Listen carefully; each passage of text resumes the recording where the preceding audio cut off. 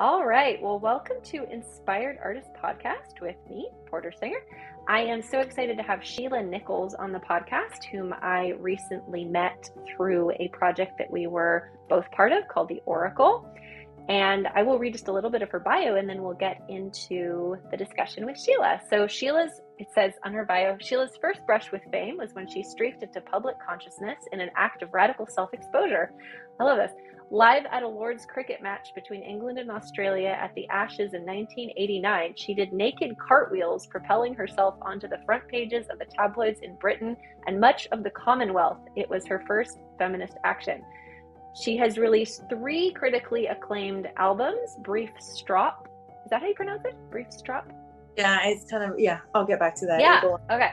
Brief Strop, Wake, and Songs from the Bardo. In each album, smattered between songs of desire and yearning, are rousing feminist fantasies, testimonies to the failure of war, commentaries on the ridiculousness of, white, of worldwide chest beating, anthems to the freedom gained if we just rewrote our collective mythology and the personal, eternal journey to rewrite one's own. And I will just say before we begin that what really struck my interest uh, in wanting to talk to Sheila on the podcast was I just randomly selected her out of all these artists that uh, were part of the Oracle project. Uh, I guess I think I liked your photo, and I I saw this one song that said. Um, Bill Maher, don't throw the baby out with the bathwater, which was so great because I've actually had that exact same thought, but I didn't write a song about it. So, without further ado, let's get into this. Here we go. Hello, Sheila. Hi. Hi. So, um, do you do you want to talk about that song that's like sure, whatever you just talked about?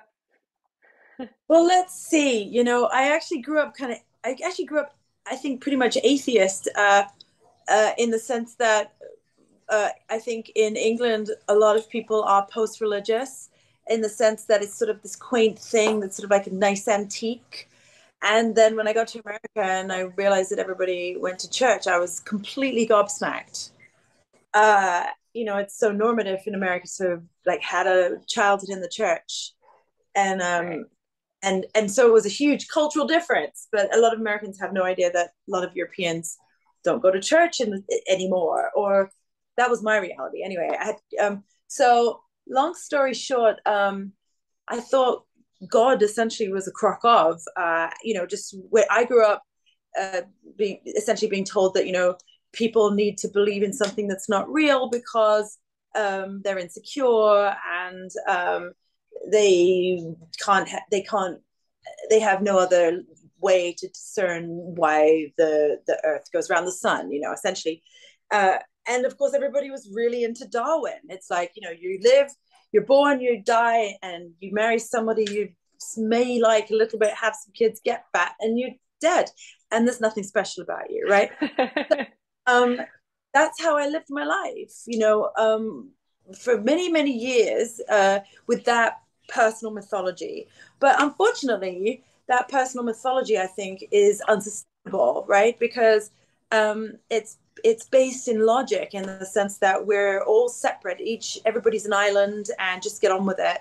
Uh, but it's it denies uh, uh, so much of the human experience. So um, you know everybody has bumps in the road and i hit a pretty big one when i got divorced and big existential crisis. And you know the cliche of course is that you is that you know that's when people pray you know but I definitely experienced a part of myself that was just like, you know, in, in searching in a in a way that I that was beyond language, right? So, um, you know, I think I had um, realized at that point uh, for me that having again lived in America for so long that a part of the colonial minds, a part of um, essentially what colonists did, i.e., British people and European people did when they went into other worlds. They denied those that their uh, creation stories, and they uh, denied their definition of God or their connection to the ephemeral, uh, and replaced it, of course, with Christianity, and that was the only way, and all the rest of it. Um, and so it started to dawn on me that these connections because you know our christianity was derivative. It was it was it was yeah jesus oh, have another beer right? Right?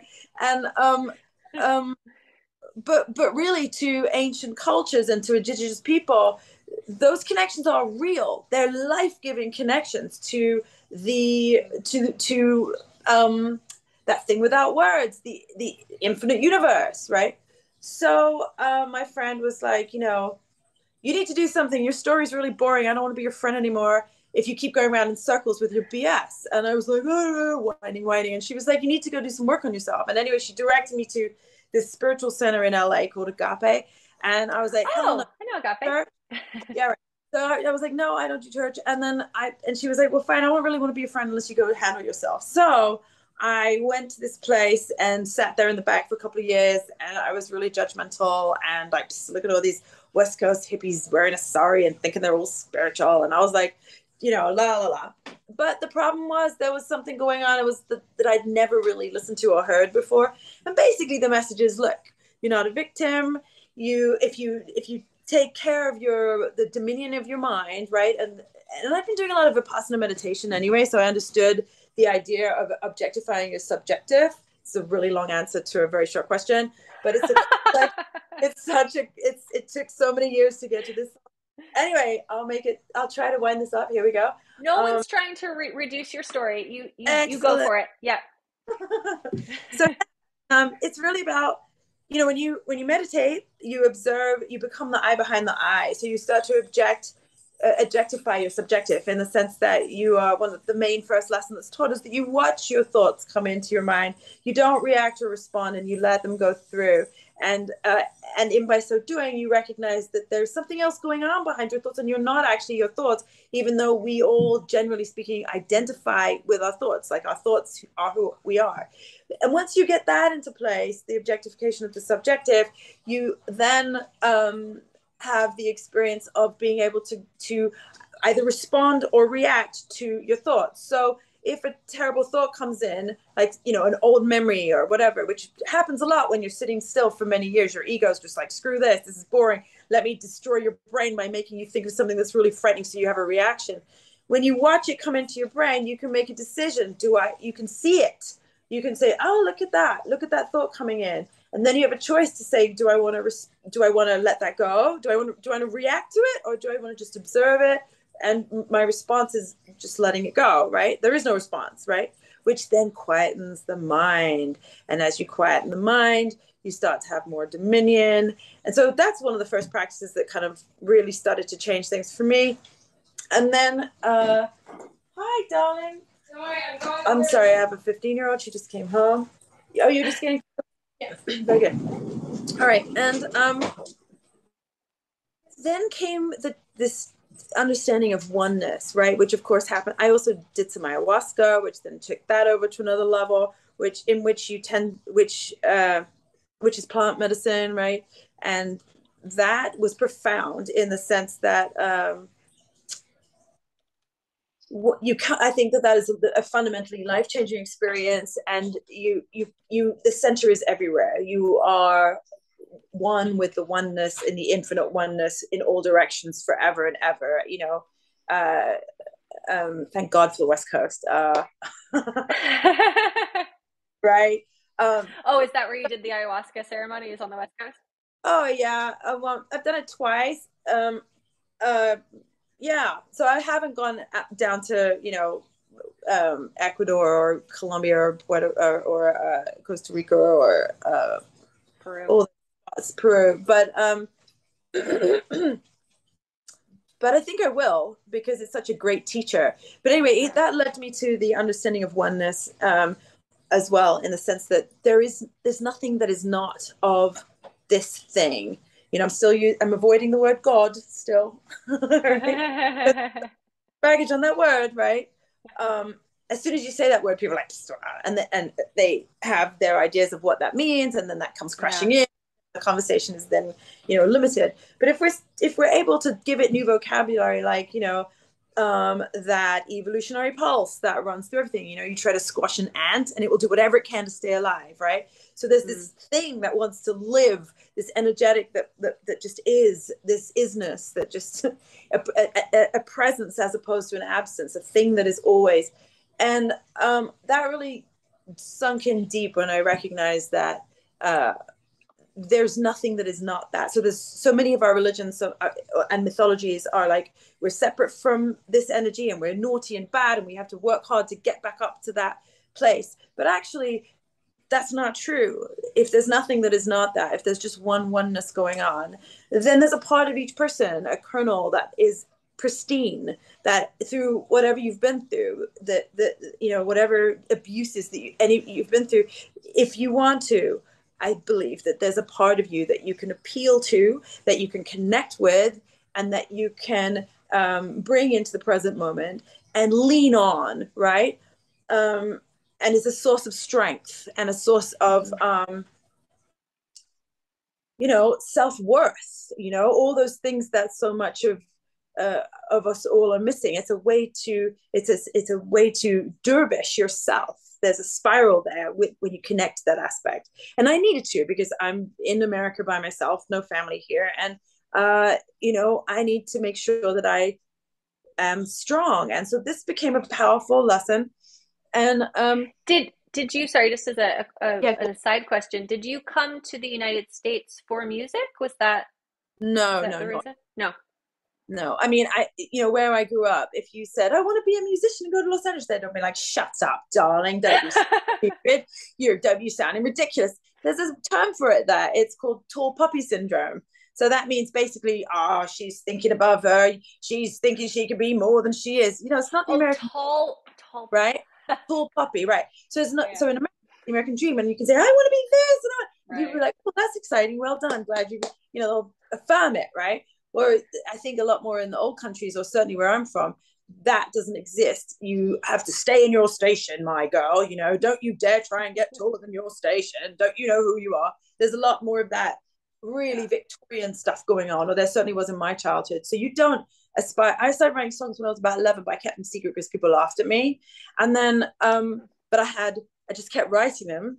And um, back then I would just sort of write them, and they were very um, I, I was doing it for myself because um, it wasn't it wasn't a good time, and um, it was the one thing that I really enjoyed about myself in my own company. It was sort of like being my own shrink. But um, um, yeah, I, I got over here and um, hung out with a bunch of folks in Laurel Canyon, and they were like, "Oh, you're a songwriter." I was like, "Don't be silly, dear. Don't be silly."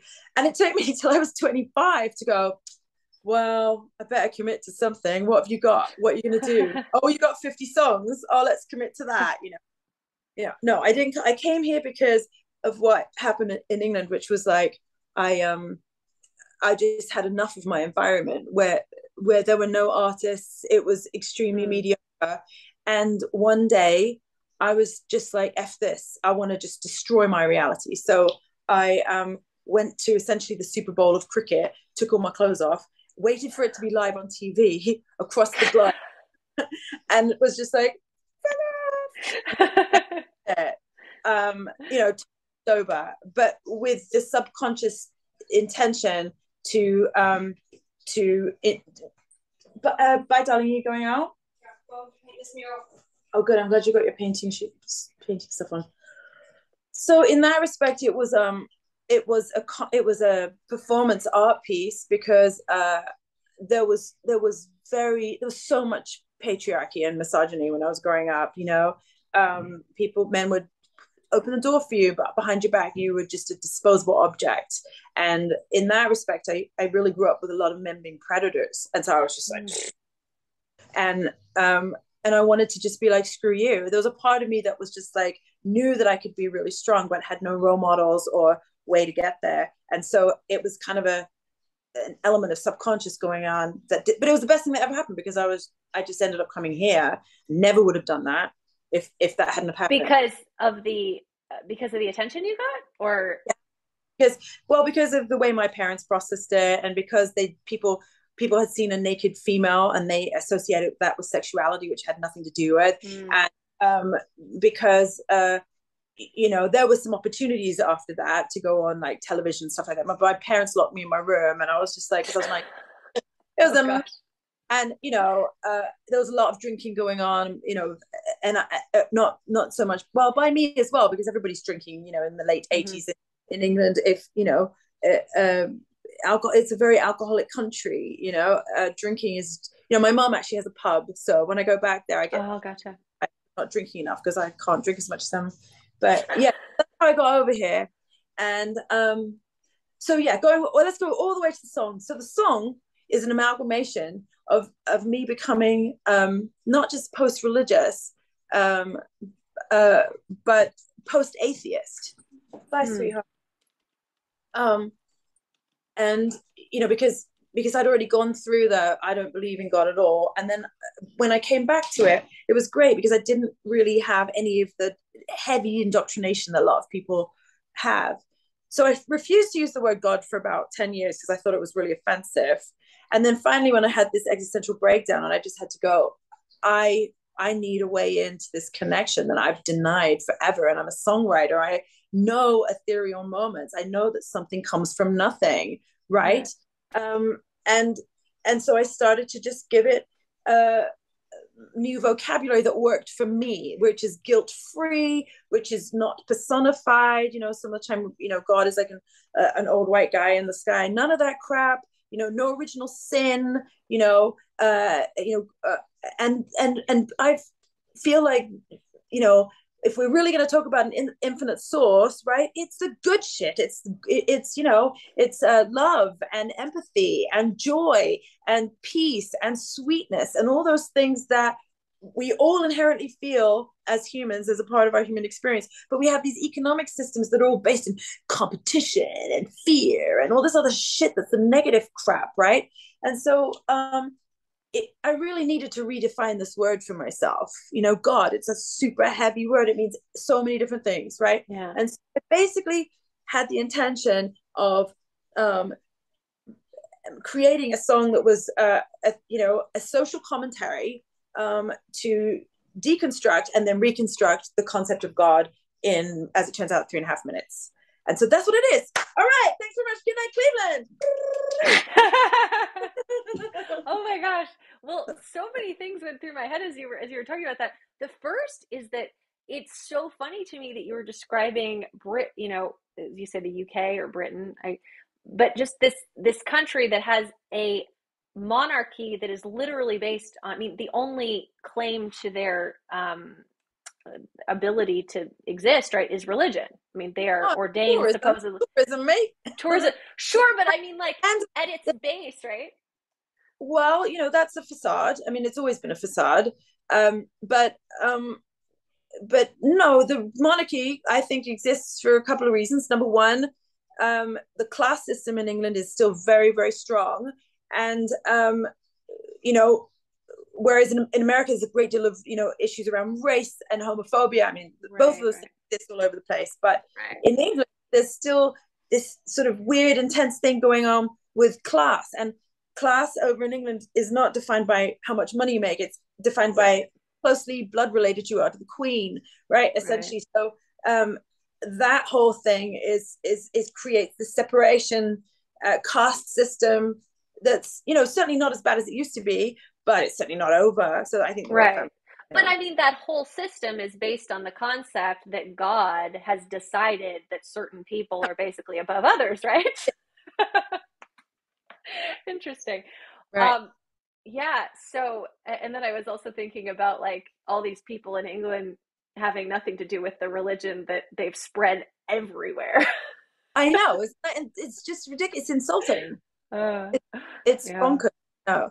Right. I mean, it's time for. See, the thing is, it's so important. It's so time for us to have a real connection um, with the planet, right? With the with with our actions. Like we we behave like we're these, with the, like we're separate from nature, and we are not. You know. Right. Um, so for me, this, you know, honestly, spirituality, uh, and it's so unpopular with, with, the people that I know. You know, my family are like, "You, you believe in God, dear?" You know. you know, and I have I, I don't even bother trying to find him. I'm like, yeah. And because it's my definition of God and what works for me. And it doesn't, um, I don't care what your God is or what your, right. or you can even whatever you want. But this works for me because it allows me to, and I hope it works for some people because I think it's time that we redefine that connection. So for me, it's not anything to do with guilt and shame. Right. You know, right. those are um, really antiquated, uh, dogmatic concepts of a, a total bullshit concept of God. Because if we're talking about God, we're talking about something that is infinite. We're talking about mm-hmm. something that is, um, um, you know, as soon as you start to define it in our tiny anthropomorphic perspective, it's no longer God because God right. is undefined definition because it's so massively, infinitely whatever. You know, it's beyond our vocabulary. It doesn't mean we say we can't try to describe it, but we need to do better. Yeah. No, hey, this is this is me. This is me trying to get you to talk. That's the whole point here. So we're oh. we're, we're doing really well. Um, you know, I it's interesting because there's there's like there's definitely that American thing where when you say or when people say God, you sort of assume that they mean well they're either like a Jewish God or a Christian God or whatever, but it has like a whole story around it, right? My brother, my brother, my son mentioned Jesus in the bathtub last night because I guess he heard it on some YouTube video or whatever. And his background is more like Eastern religion. He's been around a lot of Sikhism, and so I I, I asked him, I was like you know, it's interesting. I bet you don't know this, but there are people who believe that the only way you can uh, be, or that they, they believe that you have to believe that Jesus Christ is your Lord and Savior, or whatever. I don't even think I said that, but that Jesus Christ is the specific thing, or you're going to go to hell. And he was like, he looked at me like, no. Yeah. I know. I, I love his response. It's the perfect response. What are you talking about? That's so dumb. that's so great. Yeah, that's so crazy that people think that. It's yeah, it's like I know. Yeah. Tragic, really. It's tragic. I mean, people have to recover from that crap, you know. I mean, it's yeah. it's it's really tragic. I mean, we, you know, it, it's really important that we um, prioritize the timeless qualities of being human. You know, how how we've got so many people who are dealing with depression and anxiety, and it's like I feel like, you know, if we were able to, and I don't. This might sound idealistic, but I truly, honestly think it's about survival of the species. We must focus on, as I said, the timeless qualities of joy and peace and love and sweetness and kindness. Those are the things that are yeah. going to create those connections between each other to create the movements that we need to be able to move forward. You know, so much division. Yeah. Yeah, I was so just to pivot a little bit, I was reading also in your bio. I did a little bit of research before. I don't usually do this, so I got a little opportunity to read your um, stuff, but I was reading about your song being in the High Fidelity soundtrack, which so I didn't really know. I literally just I was like, oh, this is a really cool song. Let me contact Sheila, um, the Bill Maher one. So I I had no idea about your uh, your cool sync. Um, yeah, that was cool, which is kind of cool. Well, but that's just a codependent love song. I mean, it's a pretty well written one, but it's still a codependent love song. I've tried to move on from uh, that kind of lyric. I gotcha. Okay, so when you first, so when you were first writing, or when you were first starting songwriting, you were saying it's a form of therapy or whatever, and was um, it like a lot of relationship songs? Is that kind of what you're doing? No, it was. Um, well, when I was really young, um, it was. Uh,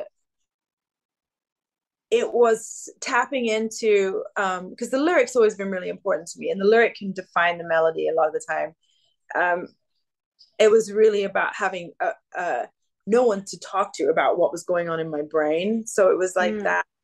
And, and and a lot of the songs were pretty ephemeral uh, about uh, like rivers and nature and um, and uh, metaphors around feeling those in feeling nature in myself and so I was already kind of in that space but that oh, okay. was way too like weird for for people where, where I was growing up. So I just made it did it for myself. Um, and then as I got older, it certainly became about um, about relationships. Most definitely, I've got a lot of those um, for sure, and uh, that's that's a lot of that going on my first record. Uh, uh, you know, a, a, a lot of self inquiry as well. Like a lot of some of the songs are like, mm, I don't know if you want to come too close to this.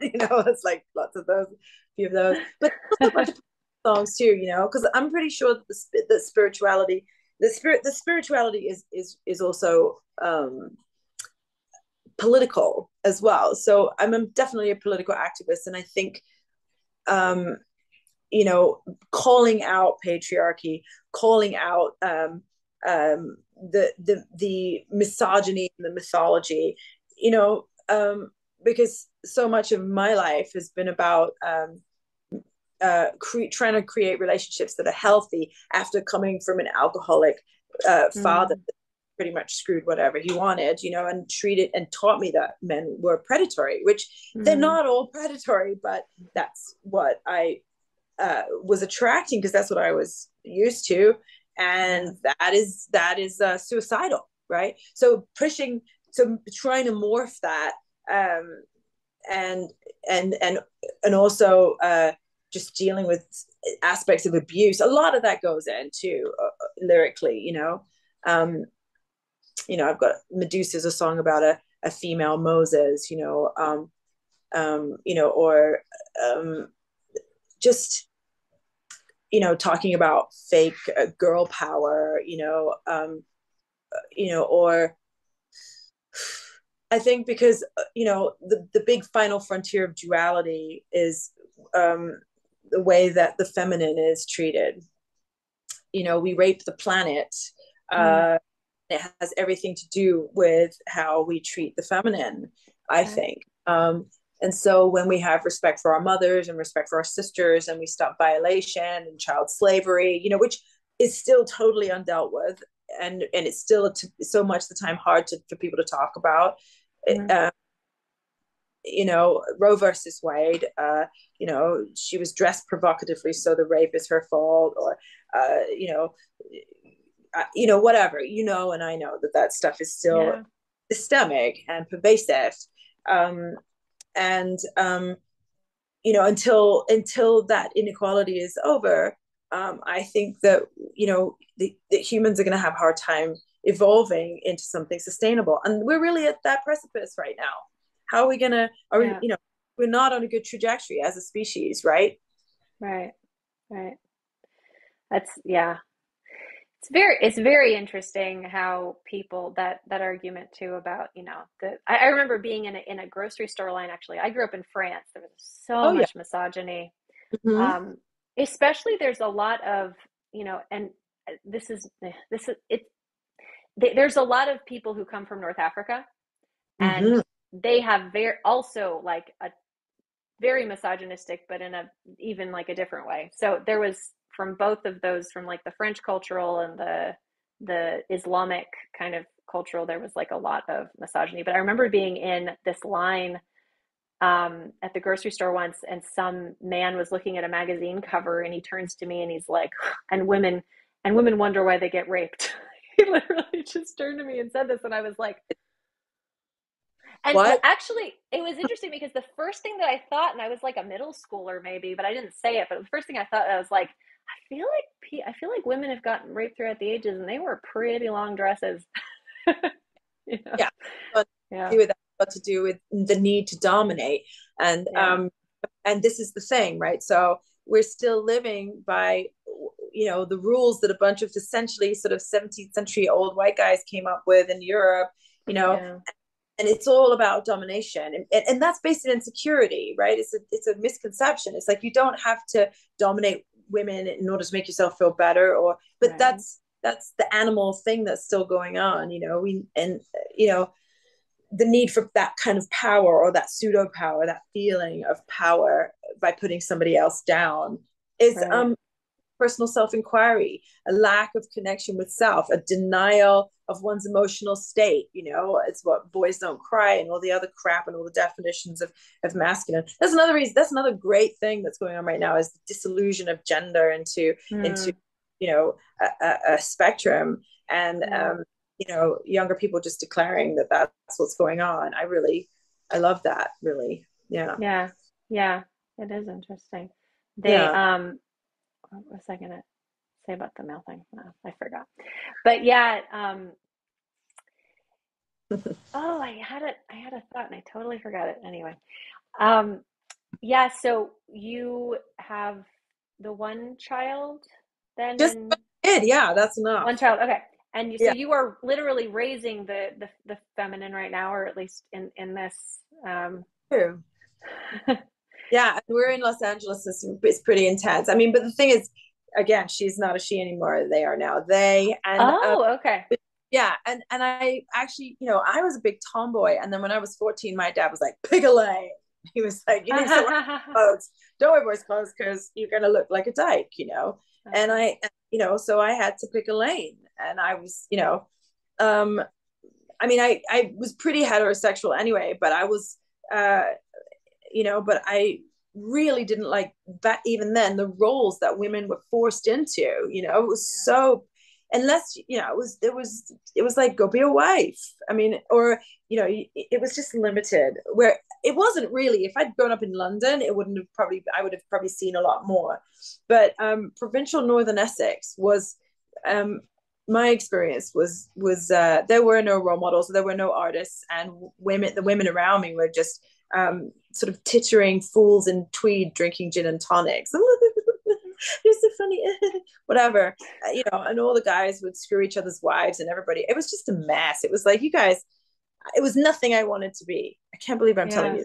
I don't know why I'm saying but you know, it's not surprising I reached those conclusions. You know, I mean, you Right. you know, if you're going to walk in the world without de- going down that path, then you have to develop a different way of being and you have to figure out how to do that yourself. And that means having this together you know more than anything right?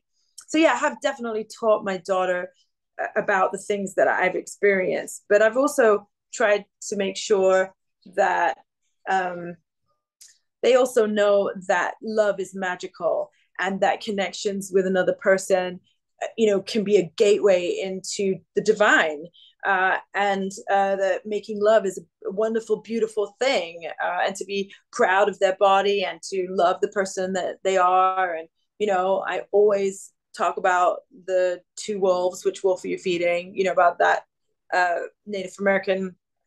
no, Uh, remind me of that.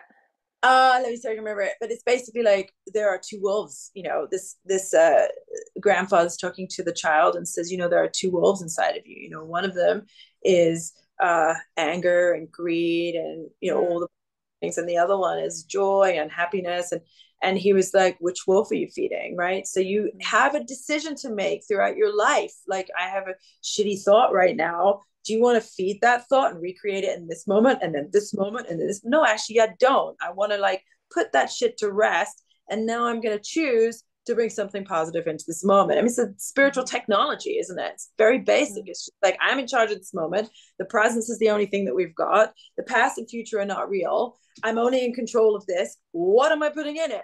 Right? Which wolf am I feeding? Well, I'm going to choose gratitude or whatever the hell it is to get yourself out of the funk so you don't end Mhm. up like, you know, half the world, like half my family on antidepressants, right?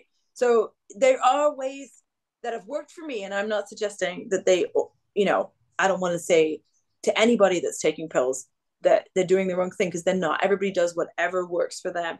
But I do think this has been a gift for me to know, and it's Mhm. you know neuroscience. You know, it's um um again when you know that you have a choice, when you embody that in that moment, you can make a new decision about okay, how's this moment going to go? And then how's this moment going to go? And then how's this moment can go? And that shit can pull you out of acute depression because it did for Mm. me, right? Yeah. and so you just create new sy- synaptic pathways in your mind right it takes 17 days to break a habit right joe dispenza and you just uh, work hard at that and you're gonna and it will eventually um yield you know hi kitty Hi, that piano. you have a piano playing cat? oh kitty kitty what is that is that a is that a little baroque number classical piece of jazz. She got good up piano. This piano kitty, piano kitty plays it piano in the middle of the night, like play kitty. Play. oh, seriously? There's no fucking food. Bitch. Yeah. Oh my gosh, I saw the funniest cat book the other day. It was like poems by a cat, and one of them was like, um, I, I, I, I see that you're sleeping. I scratch your face. Oh, you're awake? or something like that. Yeah, this girl, she's the skinniest, uh, like just scrawniest, like pulls her hair out, nastiest cat ever. But I oh. love her. She's, she's like, she's just, what? She's fierce. She's a real bitch to her mm. sister. but she's small and scrawny and like, you know, she scratches musically expressive. Oh, little girl. Hi, sweetie. I love you.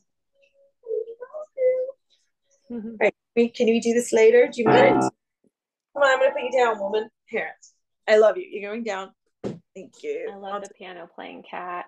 Uh, so are you doing are you doing any projects now or you said you were mostly momming it? I can relate I, to that. But I have um, a project with Dave Stringer that is coming out. Oh, fun. And we're just about to go to New York. We're gonna do um a, a Wait a, a second. Work- do you yeah. perform with Dave with Dave Stringer? Yeah, I've known him for 30 years. I feel like that maybe why because it felt like I, you were familiar to me. I feel like I've seen you live with him. Oh, probably. I probably have. We have a record we just put together, and we're gonna. We, it's up on um, Bandcamp right now, just as a preliminary thing, and then oh, you know cool. we um are gonna pop it at Omega. We're doing this workshop there, um, coming up, and oh, um over Labor Day weekend, and then we're doing um, a kirtan workshop there after that, um, oh, which fun. I'm pretty gonna be great. And then I've also been hanging out with Jennifer Johns, who's like this lady I know, I awesome, who just is um, um, a really creative human, and we had a great time last night. And she's runs the studio like a boss. She's all we got like four tracks done last night, like bam, bam, bam. Whoa another hour and a half. Okay, you got 12 minutes. Lay down the vocal. She's really good. She's really good in the studio. Like seeing women like get it together in the studio and not go down rabbit holes or second guess things or you know she's amazing. So that's been fun. That's been really fun. Um you know and uh i'm always writing and i think the frontier for me you know dave dave has a real thing with kirtan and i appreciate that. But for me i'm sort of moving into this sort of uh, spiritual but not religious, uh, political, um, because it, it has a lot of crossover for me. Um, lyrically, you know, that's kind of where I'm going. Dave was the first person that got me to chant. Okay. He, yeah, I was. So I used to work for a festival called Bhakti Fest. Did you ever go to that? Yeah, no, we performed there. Yeah, yeah. Okay, so maybe that's why I have seen you. So yeah. I I also performed there, but I started out working as their volunteer coordinator, and I was basically like the producer's bitch. That was my job. Okay. And um, at his birthday party, Dave came and suddenly Sridhar, who was the producer, he's like, "Now Porter's going to lead you in something," and I'm like, "I am." so I didn't know how to play harmonium, so Dave was like, "I'll play for you," uh, and he's like, "Tell me what chords you want," and and so it, we like we get through like one at the time I was doing Kundalini yoga mantras. So we get through like one line of Adi Shakti, and he's like, You're going to need to break this down for people. it's too long. yeah, he's good. He's great. really has a niche thing that he does. He really brings um, that freedom to chant to people, you know, because it's, it's, kirtan is accessible, you know, it's not super complex and it's um and it takes you into that trance of just letting go into that slow dervish you know um, and it's interactive. Um, and in that respect it's just a great tool you know yeah. to not only find you know some some peaceful moments but also just uh bringing people together. You know everyone's been so isolated through through covid. I love that. Dave's a great facilitator you know. So yeah, plug plug the plug the Omega workshop. I mean, I'm really rubbish. Oh yeah, so so what is that? Yeah, Labor Day weekend is the is the Chant Fest, and then um, the uh, the following week is um the Kirtan workshop that we're doing. Gotcha. Yeah, yeah. Omega Institute, upstate New York. Kind yeah, no, that's that's on my that's on my list of things that I would uh, love to eventually get to. I've never been, but it seems really cool. Yeah. you are. You're on the west What's coast. that? Right? Yeah, no, yeah, I'm the west coast. I'm in uh, upstate Washington. Upstate. We were just in Port Townsend. Well, I guess that's. I don't need to say upstate. I'm in Washington. Close to Port. We would. I just spent time in Port Townsend. That was just so phenomenal up there. Oh, okay. I haven't. I haven't been to Port Townsend, but yeah, it's it's just so beautiful. Somewhere, yeah, it's beautiful there. It's amazing. Yeah. No, I live near Seattle. So. Oh, you're near Seattle, yeah. Yeah. Yeah. It was just um we just did the Olympic Peninsula and it was outrageously beautiful. Oh, just amazing. Lovely. Just loved yeah. it. Yeah. Yeah. So lush. That's really cool. So do you know CC White then? Sure. I've known her for 30 years. Oh wow. Okay. So yeah, she was the first person ever invited me to sing. So that was oh, that yeah. So two like huge, huge people in my in my uh, life. yeah. Well, I mean, Dave Cece kind of like you know, Cece had a whole career before Dave. Like she sang right. with some eights. You know, she's had a six octave range. That woman has got a crazy voice, right? It's amazing. Yeah. But yeah. um, you know, but Kirtan, it, you know, the West. I have to say, I think Dave is a pivotal person on the West Coast Kirtan scene. Like he was really, I think, the first person that came back and put like LA session musicians, you mm-hmm. know, like and like mm. brought a little like oomph into it, you know, um, because you know there's a lot of kirtan going on that's kind of droll and it's not and it you know I, I mean i hate to say that he brought like a like a glossy finish or an la edge to it but he lifts that shit up. The crowd oh he does yeah. He's amazing live and that's the point yeah. right? Yeah. Yeah. Yeah so fun. Right. yeah i think cc a lot of people came up through dave as well with his whole thing. I mean he just brought in the community for years. I mean um yeah that was yeah he's really um i think a pivotal character on that whole scene you know? And i'm really glad he didn't change his name to you know whatever easton. Tree, whatever like, yeah. like dave and he's like whatever and i love yeah. I love he's not pretentious yeah, yeah totally not that it's pretentious so, yeah i just feel like dave is just very oh yeah I, what yeah. you what you see is what you get you know totally so, it, and you're doing an album with him as well. So, is that going to be? That's already out. That's, that's finished. Yeah, that's on. Uh, that's on Bandcamp right now. You can if you go on Bandcamp, oh, cool. either one of um our our Bandcamp uh sites, and it's called Thrum. T H R U M. Thrum. Cool. Yeah, and there's another version of God on there. There's two versions of God. There's one one version where I'm singing it on my album all of nature just by myself and the second version is one dave produced which is a conversation between me and him oh wait wait so god being same song okay same... oh sweet but um but uh he changes the name but it's the same song uh it's still called god but on my record it's called a social comment uh, it's called um bill maher dance with the baby after the bathwater and on dave's record it's called god a social commentary Oh, okay. I want to hear this. That's cool. all right. I will um I'll put links to all this in the uh, podcast description so people can easily click click on that. But yeah, so we have the Omega thing coming up and then your album that just released. And is there anything else that I should let people know about? Um well, let's see. Uh just love and peace and joy and make sure you like pull that stuff up and like give that stuff the attention. So where we put your attention. Get off the screen that I have to do with my kid all the time. That's really that's all I have. But I and I I'm really grateful for being being with you and being asked to talk about this stuff because I can chatty chat about this stuff forever. You know, it's uh yeah, you know. But so thanks for for taking the time. Yeah, yeah, of course.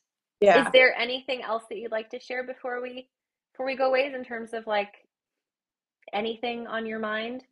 Not to put you on the spot, you don't have to, but yeah, but it's all right though. I can I can like, um I think that we are at, at a very important time in history and I think that it's really important for people to stay as awake as possible and to be as present as you can and practice to be present and make sure that you're an active participant of what's going on and you know we're really dealing with uh, which wolf, you know? There's a lot of people that are just making money and don't really give a shit about the future of the planet or your our, whether our grandchildren can breathe good air and drink clean water. And a lot of people just are thinking about short term, well, I just want to get mine now. And um, if we don't think from a bigger place, you know, if we don't remember that we're floating on this beautiful jewel, this beautiful, this ball of mud, but it's a beautiful jewel that gives life in an infinite space. You know, we need to think about the perspective and how vital it is that we remember all of the shoulders of the people that came before us, all of our ancestors, and all of their pains and struggles for us to be here now. Because humanity has a choice. We can either learn to live on this planet in balance and respect for all beings, or the earth is going to have a big period and we're going to be bye bye. And that is a choice that we have to make. And it is a choice, you know? And I think a lot of the time people are too disconnected and don't think they're powerful enough to do anything about it. But it, it we are powerful enough to do something, especially if everybody bothers to reach inside to that personal kernel of pristine that still exists, that never goes away, that can never be touched because there's nothing that is not God. So that means there's a little tiny speck of that in every single thing, not just person, but everything, every everything, even inanimate objects. It was all made by that one presence, that one power, that one thing that's indescribable, non-definable, undefinable, right? By definition. But it's real. We're here. We're conscious and, mm. you know, I'm just urging folks to, even in the hardest times, you know, to seek that aspect out and bring it to this moment and to this moment and to this moment and find that strength so that your strength is my strength is their strength and that we can create social justice movements that actually get shit done as opposed to break apart because people squabble with each other because they misplace their fear and anger and shame and whatever we need to get past that shit. We need to be in solidarity with one another and we need to make our future for ourselves, for our children, for all beings, something that we can look forward to and know is going to be actually there, you know, instead of just thinking about ourselves. And I just, I just hope that, um, I really hope that that's where we're headed and that we can bust through this trajectory of us and them and you and me and up and down and black and white and separation. It's bullshit. There's only one going on. There's only one thing going on. And I just implore that we that we find that aspect individually so that we can bring that to the table to do good in the world because that's what we're here to do. We're here to be joyful. We're here to be happy. We're here to be mm-hmm. in this Eden that we have been given, you know. And I know that you've been through shit. I know that you've been abused. I know that some fucked up shit has happened you know, and I know that I'm very, very lucky in many ways, but I'm just saying, I do think that that's a possibility if we choose it. I guess that's it. Yeah. Oh, well, that's a nice note to leave on. So thank you so much for joining me, and um, I will. Uh, I will let you know when this comes out. Thank you. Hey, thanks so much. You take care. Okay. Bye. Thank you for tuning into the podcast. Please remember to like, rate, subscribe, whatever your service offers you as a way to engage and let others know that you're enjoying it so it gets shared with more people. I have just launched my newest coaching program called Emotional Fluency 101. You can check out the info on that at portersinger.com slash coaching and book your complimentary intro call there so that we can chat and find out if we work well together.